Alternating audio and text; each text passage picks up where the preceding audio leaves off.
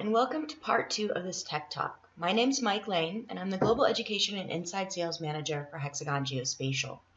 If you missed part one, you can find it on the Hexagon Geospatial website under e-training. I talked about the definitions and the differences between AI, machine learning, and deep learning, covered some of the industries in geospatial that are using AI today, and the benefits of exploring and implementing AI in your workflows. In part two, I will go into more specifics of the machine learning and deep learning algorithms themselves, how, I, how they are unique and differ from one another. I'll keep it pretty high level and provide an overview with some tips and tricks on which machine learning or deep learning algorithm to use when and for which data. But first, let's talk about the steps in the workflow itself.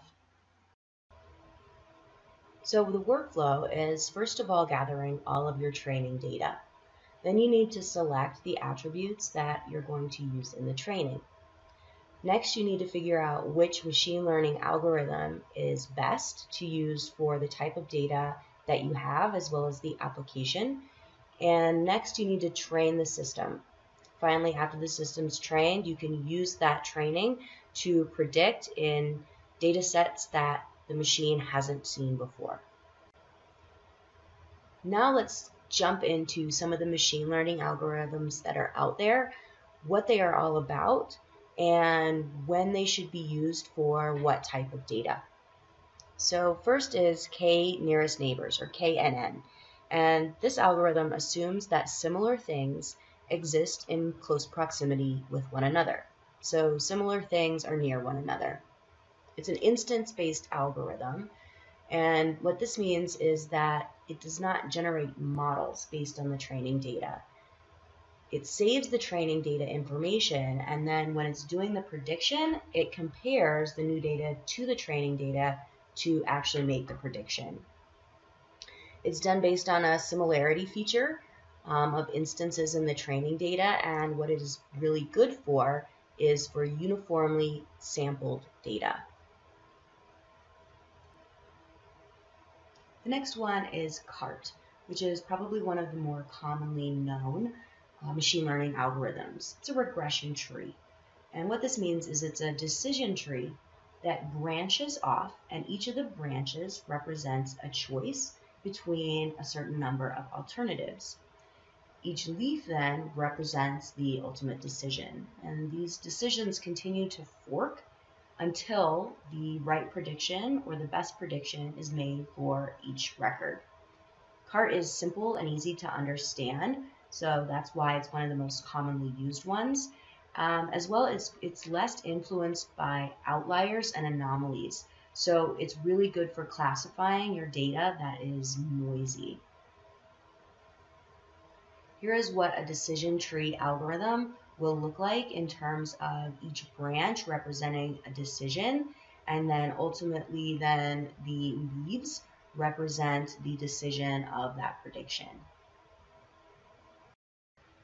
The next is random forest, and in random forest we grow multiple trees as opposed to a single tree in the CART model, and these trees are independent of one another. Each tree gives a classification result, and we say that the tree votes for the class. Just like in an election, the forest chooses the class that has the most votes.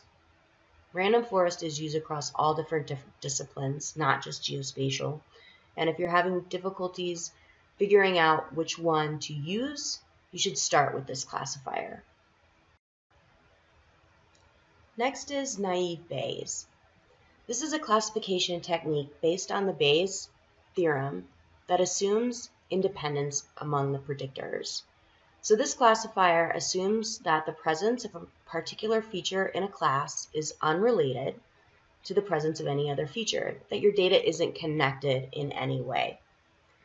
When this assumption is there, this classifier performs better compared to other models, and it actually requires less training data as well.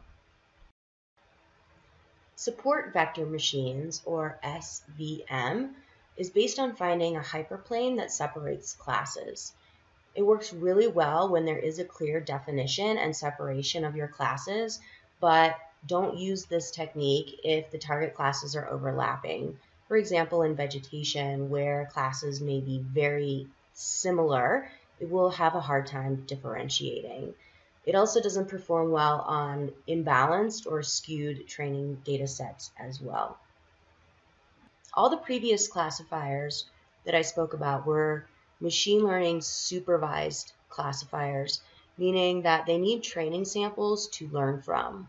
This one is different. It is an unsupervised machine learning algorithm, and it uses uh, clusters of data to separate classes into a set number of classes that we specify. You minimize the sum of the squares of the distances between the data points and their corresponding class centroids in order to create these clusters and identify a specific number of classes. Next, let's look at the deep learning workflow. It's similar to machine learning workflow, but without the selection of attributes. So deep learning workflow starts off with first gathering your training data. Next, you select the deep learning algorithm that you will use. Then you need to train the system. And then finally, step four is the classification or prediction. First, you need to decide which classes that you would like to extract or identify. And each one of those classes is put into a folder. So instead of like machine learning with decision trees, what we do is we extract training chips from the images. We give the examples of what an airplane in this example looks like. And we need to identify several different shapes, sizes, colors of the airplane so that the machine can understand exactly what we're looking for. So if we're looking for airplanes and or ships and cars, each one of those would go into a different folder. All the chips for the planes in one folder, all the image chips for cars in another folder. So the images need to represent what you're looking for, and unlike machine learning, we don't choose attributes, we create these chips uh, to identify our features of interest. After you've selected your training data, the next step in the workflow is to select the deep learning algorithm you wish to use. One option is Inception. And Inception is part of Google TensorFlow open source machine learning architecture. Inception is complex. It uses a lot of tricks to push performance, both with accuracy and speed. It has been evolving, so it has several different versions, 1, version 2, 3, 4, and also Inception ResNet. Depending upon your data, a different version might be more appropriate to perform your deep learning prediction. Uh, it is a module when a convolution neural network uses convolution kernels of multiple sizes, so multiple sizes as well as pooling within one layer. It's won awards for accuracy, and again, it is part of the Google uh, open source machine learning architecture. If you don't want to use Inception, another option is to create your own CNN model. To design your own, you'll need an input, hidden layers, and an output layer. The input layer is the input to the network. No computation is done in this layer. There are hidden layers, and these are where all the computations are performed. The input data is transformed through a series of operations to then generate the output layer, and the output layer represents scores. So your input, there's only one, it's the image, where you'll need the size, the width and the height, and the number of bands or layers. The next are the hidden layers. And the hidden layers are first the convolutional layer. The learning starts here. Filters, so small patches of images that represent a feature, are convolved over the input image, which gives us a feature map. The filters are learned, they're not hard coded. So if what we're looking for has a horizontal line, the filter might not figure it that out right away that we're looking for that horizontal line, but during the training, it will learn that if it performs better, the filters will be weighted to detect horizontal lines as it moves forward and learns.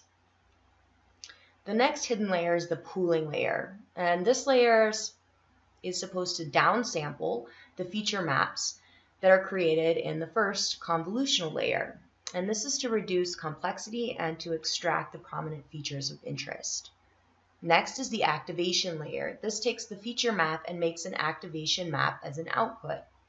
The next hidden layer is a flatten layer, which takes all the feature maps and converts them into a single one-dimensional feature vector. Then there are dense layers, and these are fully connected. That means every node in the previous layer is connected to every node in the next layer. And the purpose of this dense layer is to, one, introduce non-linear combinations of these features learned from convolution layers. So while most of the feature maps may be good at classification, a combination of these feature maps are probably going to yield a better result. And two, to use these features for classifying the input image into various classes based on the training data set. Finally, there's the output layer. There's only one output layer, and this layer will have the nodes equal to the number of possible outcomes. So when should you use deep learning versus machine learning? And here's a simple chart to help you. First of all, if you have a training data set that is small, machine learning is probably best. Deep learning requires a very large training data set. If you're going to be choosing your own attributes, you'll use machine learning, but if you're not, you can choose deep learning. The training time for machine learning is relatively short as opposed to training time for deep learning.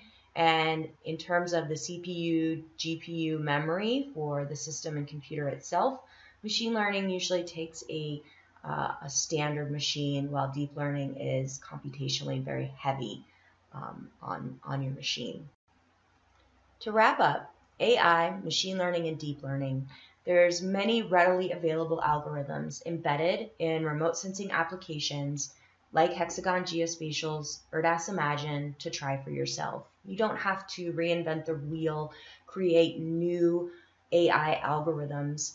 You can simply use those many that are available uh, and useful within these applications. There's lots of e-training and documentation available for you to do step by step, watch videos, and learn more. If you are using imagery for any application, change detection or object detection, it's really great to get the most out of your imagery and the most return on investment by applying these newer technologies and machine learning. It's here to stay. It's the way of the future. So the more that you can learn now and apply, the more that you are ready for the amount of data that's going to be coming your way in the future. If you want to learn more, please contact us at Hexagon Geospatial. Thanks again for listening to part two of this two-part series. If you missed part one, you can find it at www.hexagongeospatial.com under the e-training section. Thank you again for joining and stay tuned for more Tech Talks by Hexagon Geospatial.